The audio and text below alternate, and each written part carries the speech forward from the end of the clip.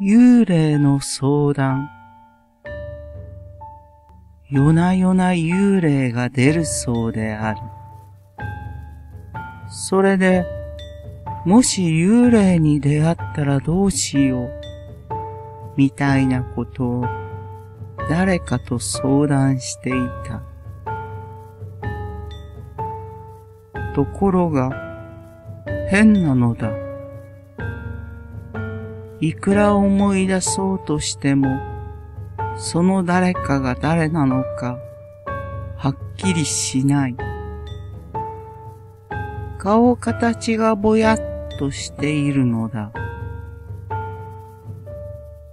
もしかしたら、その誰かとは、話題にしていた幽霊そのものではなかったか。